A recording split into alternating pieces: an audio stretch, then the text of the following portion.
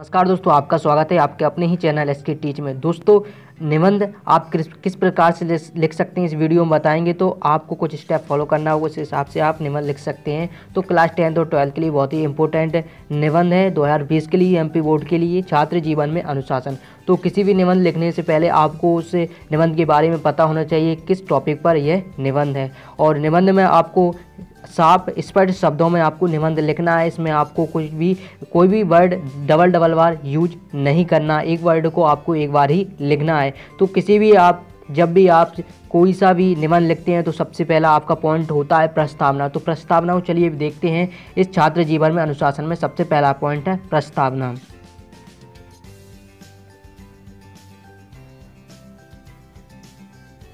तो प्रस्तावना को हमने लिख लिया है और इसे आप अच्छी तरीके से अंडरलाइन कर सकते हैं।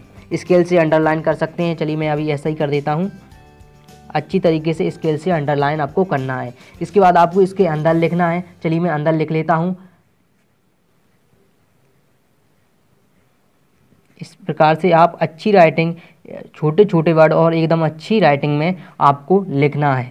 तो आप यहाँ पर देख सकते हैं, मैं लिख रहा हूँ, उसी तरह से आपको यहाँ पर लिखना है। मानव जीवन तथा संसार नियमों से आबद्ध है। संसार नियमों से आबद्ध है। तो इस प्रकार से आपको यह निबंध, कोई सा भी आपके पास निबंध आ जाए, उसी प्रकार से आपको यह निबंध लिखना है। आप अच्छे अच्छे अक्षर बनाएँगे और छोटे छोटे लिखें, ज़्यादा बड़े अक्षर ना बनाएँ तो आपको अच्छे मार्क्स नंबर मिलेंगे। तो दोस्तों, आप इस प्रकार से लिख सकते हैं। जैसे मैं लिख रहा हूँ, आप उस प्रकार से लिखें। एक वर्ड को आप दूसरी बार यूज़ ना करें। निबंध लिखने का यही व्यस्त तरीका है। सबसे यह नियम विभिन्न प्रकार के होते हैं।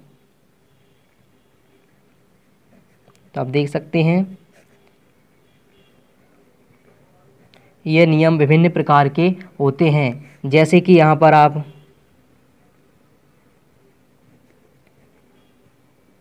यहाँ पर देख सकते हैं प्राकृतिक, सामाजिक, आर्थिक, धार्मिक और राजनीतिक। तो जो प्रस्तावना है, उसमें आप अच्छी तरीके से, सबसे पहला पॉइंट आपको अच्छी तरीके से लिखना है, जिससे एग्जामिनर को आपके ऊपर इफ़ेक्ट पड़े। आप किस प्रकार से लिख रहे हैं इस पॉइंटों को।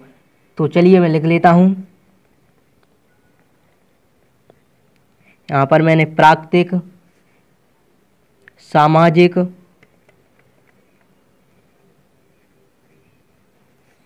आर्थिक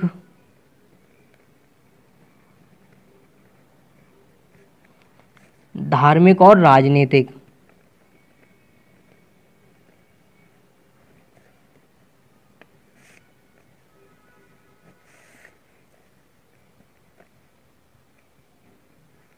धार्मिक और राजनीतिक।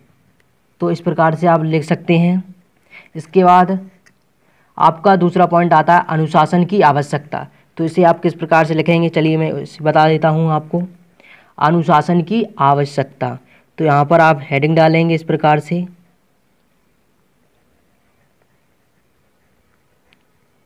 हेडिंग थोड़ा बड़ा लिखें, उसके बाद उसके अंदर है उससे थोड़े छोटे अक्षर आप लिख सकते हैं। इस और आपकी राइटिंग भी अच्छी होनी चाहिए। आपके नंबर बिल्कुल भी नहीं कटेंगे। तो अनुशासन की आवश्यकता। तो इस प्रकार से आप लिख सकते हैं। इसके बाद आप इसे अंडरलाइन कर सकते हैं। चलिए मैं अंडरलाइन कर देता हूँ।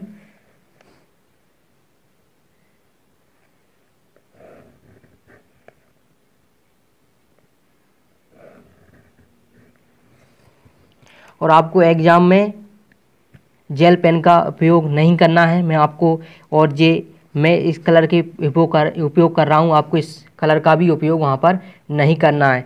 आपको ब्लैक और नीली पेन का ही उपयोग करना है। चलिए जो अनुशासन की आवश्यकता देखते हैं। सामाजिक और राजनीतिक नियमों के पालन से ही इसके अंदर आपको लिखना है।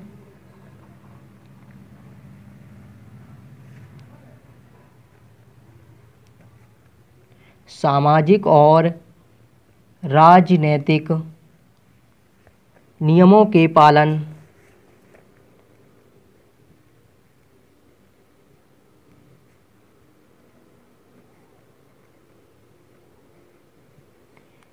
नियमों के पालन से ही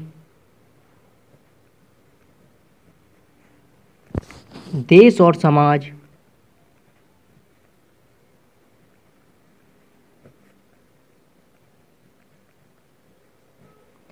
देश और समाज का कल्याण संभव है। का कल्याण संभव है।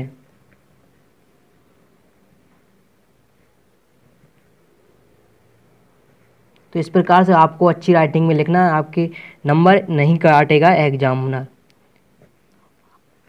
आज समाज में भ्रष्टाचार का बोलबाला और अनैतिकता की वृद्धि के, वृद्धि का कारण नियमों में सम्यक रीति से पालन ना करना ही है। चलिए इसे भी लिख लेते हैं। आज समाज में भ्रष्टाचार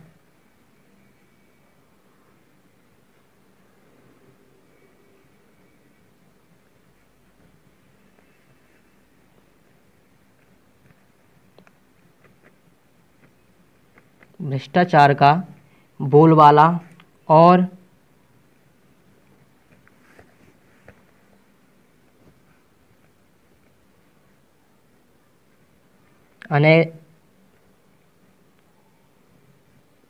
अनैतिकता की वृद्धि का कारण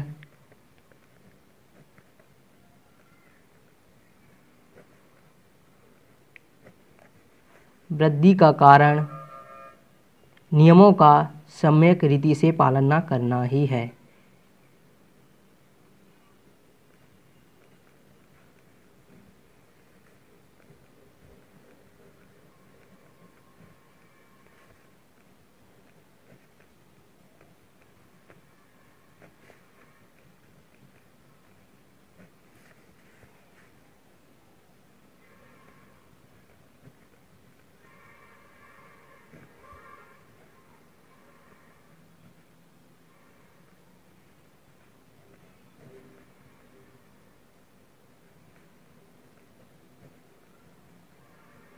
तो इस प्रकार से आप किसी भी निबंध को लिख सकते हैं। आपका जो हेडिंग है, वो थोड़ा आपको आपको अच्छी तरीके से लिखना है और थोड़ा बड़ा लिखना है और अंडरलाइन इसे करना है। आपको एग्जामिनर को हेडर जो आपका मेन पॉइंट होता है तो उसे आपको हाईलाइट करना है। इसके बाद आपको इसके अंदर लिखना है, वो छोटे छोटे वर्डों में और स्पष्ट रूप से आपको सही से लिखना है, जिसे एग्जामिनर सही उसे देख सके और जाँच करने में उसे कोई भी दिक्कत ना पड़े। तो कोई सा भी निबंध आप इस प्रकार से लिख सकते हैं। अगर वीडियो अच्छी लगे लाइक ज़रूर करना वीडियो को।